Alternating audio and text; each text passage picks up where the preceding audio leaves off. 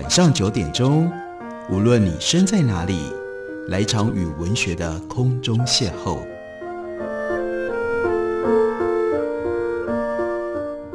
杨照谈书，邀您一同遨游文学世界，认识古今中外的经典之作。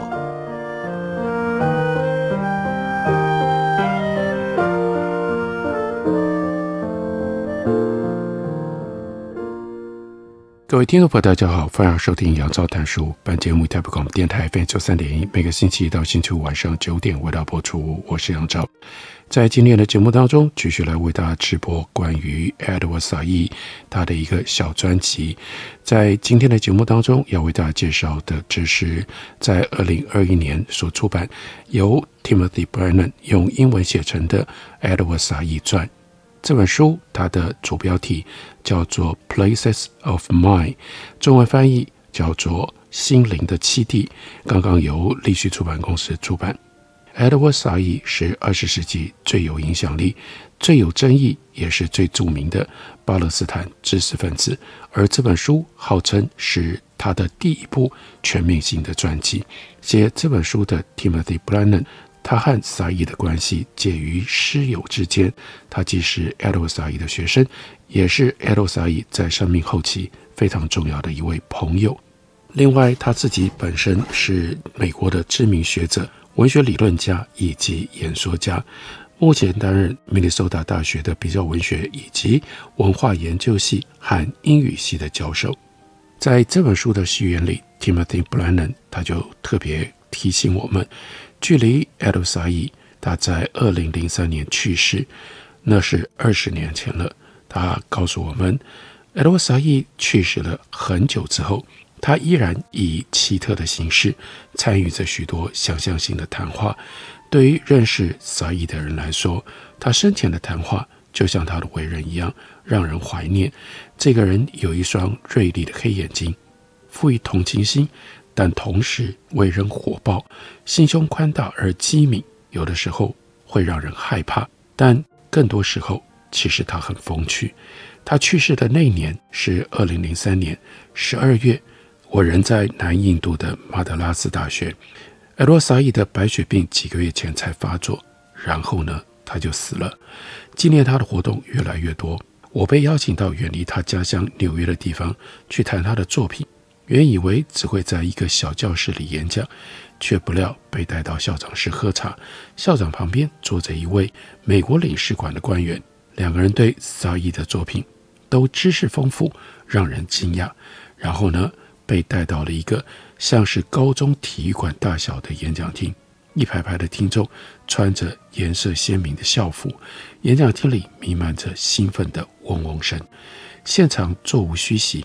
还有人必须要站在墙边以及窗口，听众当中有学生，有社区成员，也有一些国际访客。他们看似想要抓住任何曾经和艾德沃萨伊擦身而过的东西。根据埃及小说家阿达夫苏伊夫他的回忆，年轻人听完萨伊的演讲之后，喜欢走向萨伊，只是为了要去摸摸他。在马德拉斯大学的演讲。即将开始之前，演讲厅最后两排学生突然站了起来，这是预先安排好的。他们就念诵 Franz Fanon 他最重要的名著《Wretches of the Earth》大地上的受苦者其中的一个段落。这个情形像是正在举行政治集会。这个喧闹的插曲和 Edward 多年来获得的毁誉参半观感有一点。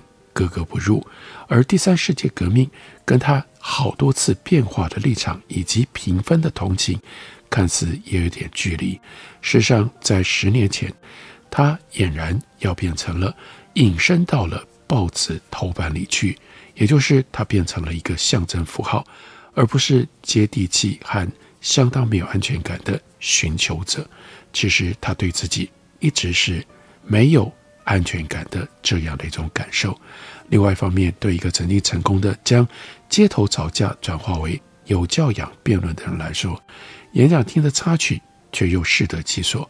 因为艾德沃萨伊使得巴勒斯坦人有了一个探测大都会狂躁的文雅代言人，也因为 Adel Said，以色列的支持者找到了他们需要的吹牛大王和恐怖分子。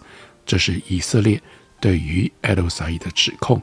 也因为 Adel Said 研究东方的学者在后视镜里看到了一个武装很好的敌人。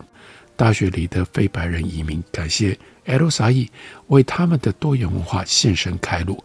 大学里的左翼分子则纳闷，抱着他那样观点的人怎么会竟然得到有权有势者的奖赏？换言之，我们轻易就可以把 Adel Said 变成了一系列没有深度或只有细微差异的标语牌。不过，Adel Said 他的整体效果总是让人难以忽视。作为一个巴勒斯坦裔的美国人、知识分子、活动家，萨伊。现在被认为是半世纪以来最有变革性的思想家之一。他是诗人，又是理论家；他是诱惑者，又是策略家。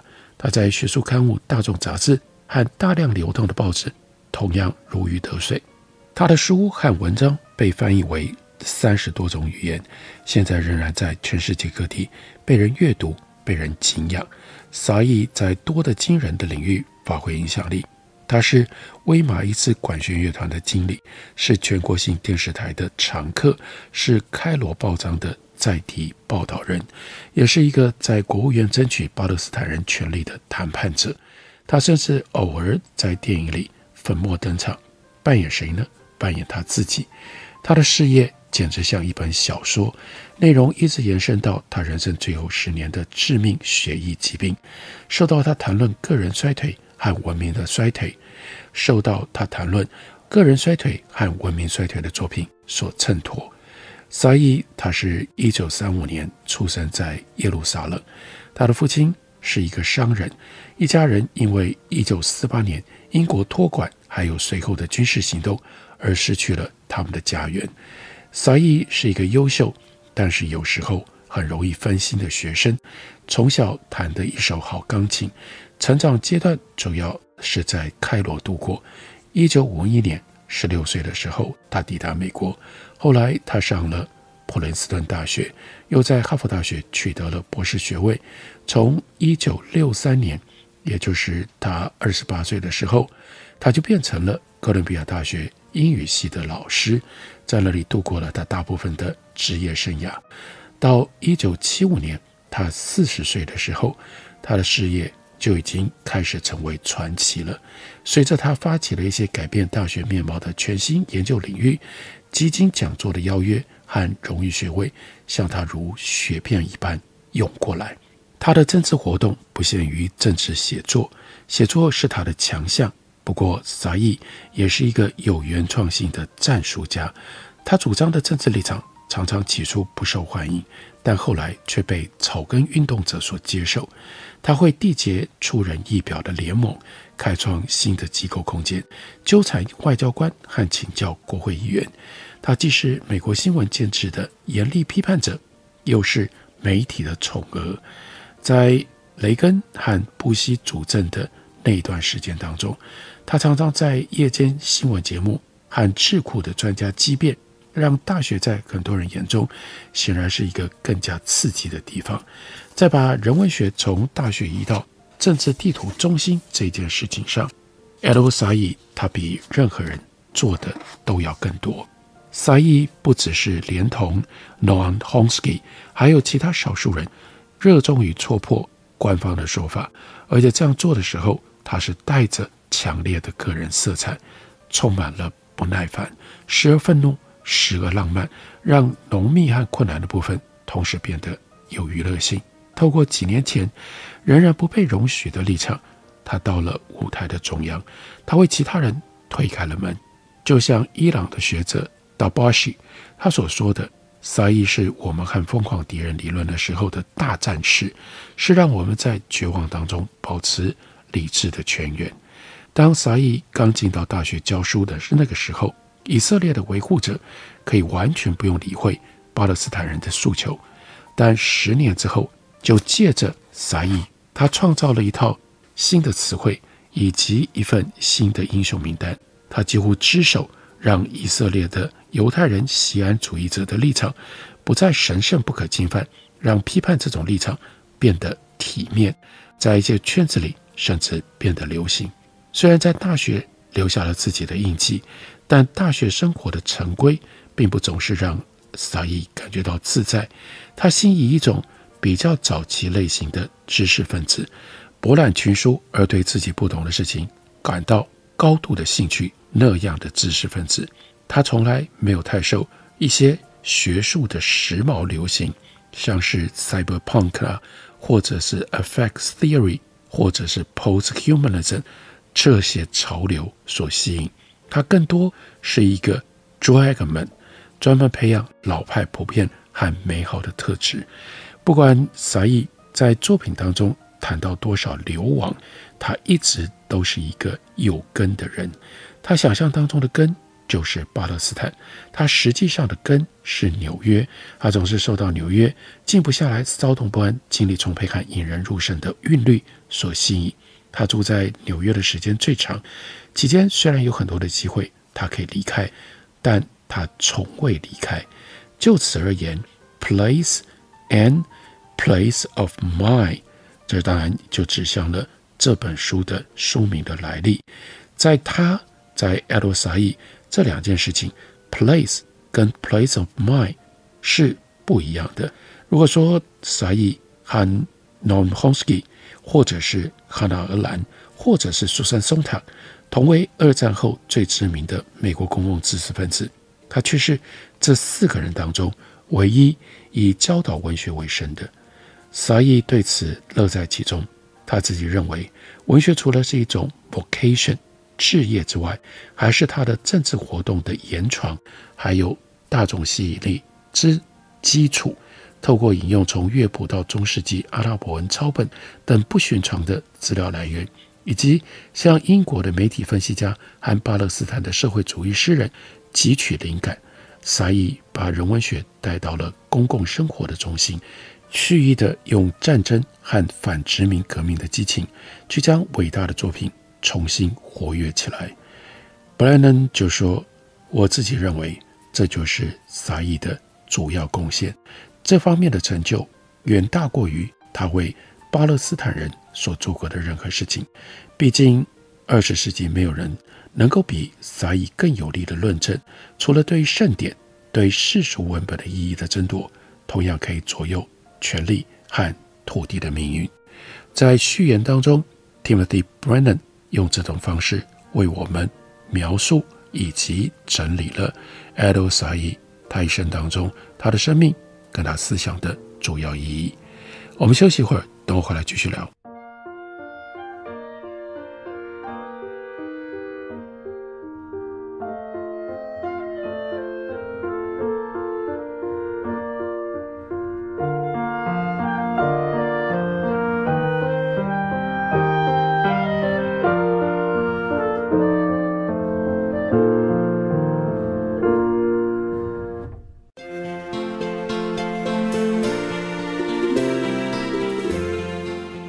大家好，我是李千娜。台北的好声音尽在 FM 九三点一，AM 一一三四，台北广播电台。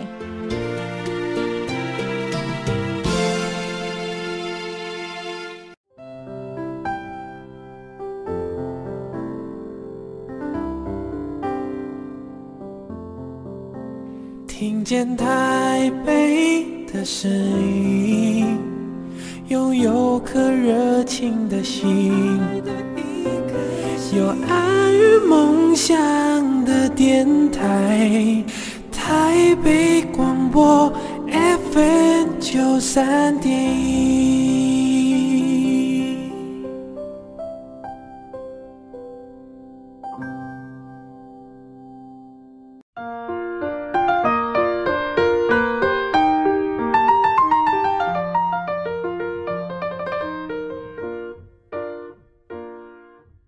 感谢您继续收听《杨照谈书》。本节目以台北广播电台 FM 九三点一，每个星期一到星期五晚上九点为大家播出到九点半。今天为大家介绍的，这是 Edward Said 的传记，由 Timothy Brennan 所写的。立讯出版公司刚刚出了中文译本，书名叫做《心灵的栖地。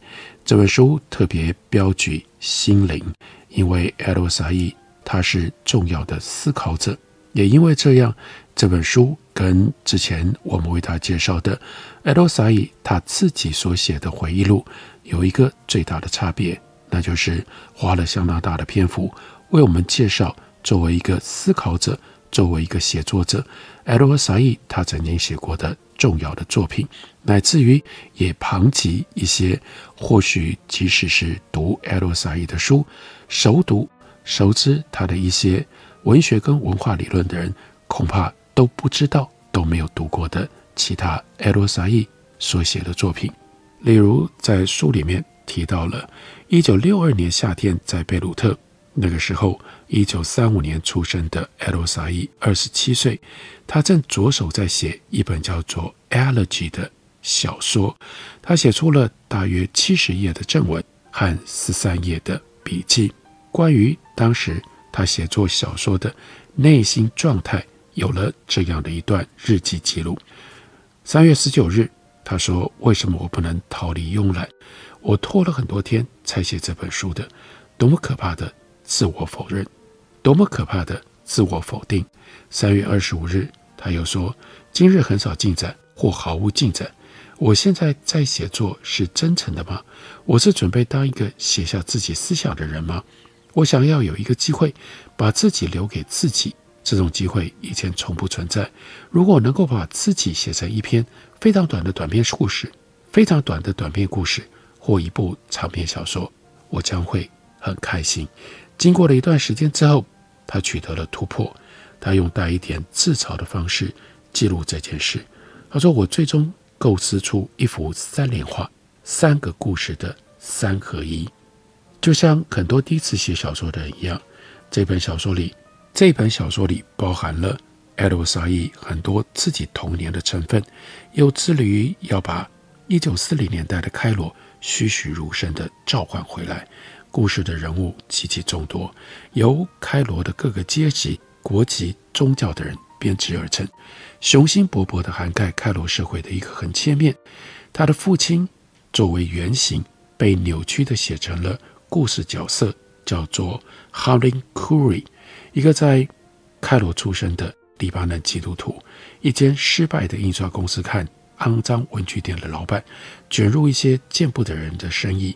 他想要投资在肥料，他把瘫痪的太太塞在苏普拉的一间破旧公寓里。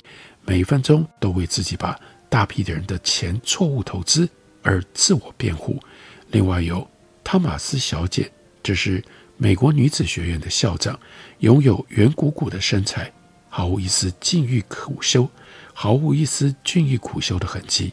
尽管他逼自己像他的阿拉伯人同才一样早起，并且像 Miss Nasser 一样戴着无框眼镜，而 Miss Nasser。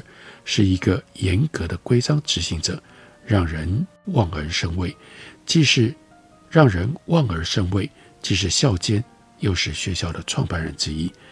汤马斯小姐来自于美国的 Ohio，属于那带给美国道德音色的 Anglo-Saxon 生命线，是一个工业化了的 Jane Austen。在故事里有一个小角色是圆圆胖胖的 Totino。他是一个坐过牢的同性恋者，他喜欢炫耀父母给他的一件首饰。后来他娶了优雅的 Antoinette，这个人是 Miss Nasser 的学生，还有 Miss Harfush，则是靠教阿拉伯语和音乐来维持他的演奏会钢琴家事业，来维持他的演奏会钢琴家事业。还有七英尺高美国人叫做 Justin。瘦巴巴的未婚，山穷水尽，在两个完整叙事段落当中的其中一个情节聚焦在 Miss Nasser，明显的是以艾洛萨伊她的梅利亚阿姨作为这个角色的原型。沙伊讲述了他和同事霍布斯小姐的战争。这个霍布斯小姐呢，想要让学生演一出戏，但是 Miss Nasser 却认为演戏有损。熟女身份，更违背了她的教育使命。她的教育使命是要培养女孩子独立坚强的个性，不要让他们有任何人认为女性应该是 sentimental 多愁善感的。Miss Nasser 从来没有把他的反对完全公开化，就像是假装这演戏的想法太不可想象，是他心灵所无法吸收的。在二十年后去世的时候，Miss Nasser 她受到三代埃及女性的赞扬，热烈推许她是惊动历史的一整章。她的个人习惯构成她在女子学院的生活方式，就像一张巨大、细致而脾气无比古怪的网。大清早，在他的房间过度拥挤的树木当中，当他的床仍然挂着一张老式的蚊帐和垫着至少五张毛毯的时候，他慢慢的在那里喝着他的土耳其咖啡。艾洛萨伊他的文笔特别注重场面调度，在他的笔下，艾利亚夫妻他们那种小资产阶级居家环境被酸了一番，黑人仆人。落地窗、小黄瓜、雅丽酒、苏格兰威士忌和烟斗是他们主要的家居道具。各面墙上挂着穆罕默德贝的媚俗油画，画里面的尼罗河景观盛气凌人的，足以掩盖最后缺乏认识以及结构的歪斜。在房子里挤满了各种时刻打牌的人和有钱的朋友，就连苍蝇都静止不动，待在原地。就像一些为长者站起来之后重新坐下的断层学生，欺骗房客的考利小姐，十四个月后在一阵狂喜当中死去。她死的时候，双手把班扬的《天路历程》这本书紧紧压在她的胸前。另外一段完整的小说，一部分让人觉得，如果萨伊有更多时间，有没有其他的事做，他就应该可以把整本小说写完。这个部分流畅自信，而且相当的完整。情节部分发生在开罗，部分发生在赫利奥波利斯。各个人物以令人目眩的速度上场下场。有两个角色，一个叫做 Mifid，另外一个叫做 Ahmed，那是 a d w a s a i 他扭曲的自画像。这个 Ahmed 每天上班下班，骂肮脏的警察，用沉闷的聚精会神态度。来钻研 Ovid 的变形机，用无线电对讲机对他的司机大声发号施令。而母菲则是艾罗萨伊自嘲他在标准文具公司工作那一年的回忆。这一段说：今日一如往昔，在他那一间满布灰尘又热的小办公室里，母菲很多时候会把他的椅子从办公桌往后拉，探身向前。手肘支着膝盖，双手托腮，香烟叼在嘴唇上，瞪着沾了墨水斑点的地板看。桌子上的巨大账本是一个他无法认真对待的同伴，因为那些小小个未，因为那些小小个和未被保护的数字有一些令人觉得好笑的地方。他们信心满满，挺着大步迈过了无穷无尽的职业。对于穆菲来说，这种数字啊，只有在整齐的情况底下才是真的。这种整齐是他吹毛求疵的成就。至于这些数字对他的上司而言，代表着什么样的销售利润和损失，他一概绝对茫然无知。他的心在别的事情上，而这件事都是其他任何人不会放在心上的。哀歌这部作品长篇小说。始终没有写完，不过留下来。埃洛萨伊他曾经写过一篇精致完整的短篇小说，那是一九六五年，他写完了小说，把这篇叫做《提供给听见者的方舟》投给了《New Yorker》纽约客杂志。这篇小说讲述阿拉奥太太和两个胖女儿在被迫离开了巴勒斯坦之后。造访黎巴嫩的一个朋友的夏天别墅，他们像夜行者那样，在从前的邻居和远亲之间漂流。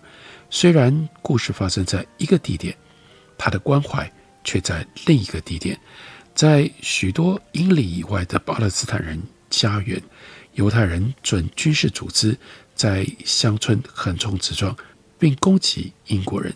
对这些事件。故事当中，那个住在黎巴嫩山区的敏感叙事者，他多半不知不觉，他只管自己无聊透顶的固定日常生活，万万没想到震波冲击而来。这篇小说叫做《An Ark for the Listener》，它的标题来自于 Hopkins 的一首诗，叫做《The Wreck of the Deutschland》。其中的方舟 Ark 是指保护在暴风雨当中落海者的圣船。这首诗的原意是要悼念五位死在船难当中的方济各会的修女。在诗中出现了。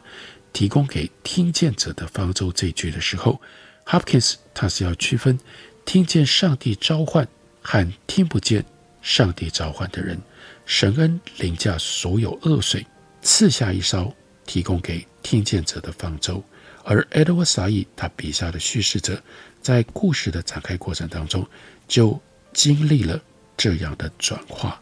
不过这篇小说写完了之后。应该是抱持着高度的期待，投给了《New Yorker》，但是呢，却被《New Yorker》退稿了。这件事情对于依偎在创作者跟学者之间的艾罗萨伊，应该产生了很大的冲击。从此之后，他就不再写小说，也不再写任何其他的虚构性作品了。他专注在他的学者生涯上。他进入到哥伦比亚大学任教，在英语系当讲师。他写了很多，他一本一本的写出了当时影响了文学领域文化研究非常重分量的这些著作。如果大家对于 L. 萨伊他的成就有着进一步的好奇跟兴趣，推荐大家来读 Timothy b r e n n a n 他所写的《心灵的栖地》《L. 萨伊传》。感谢你的收听。我们明天同一时间再会。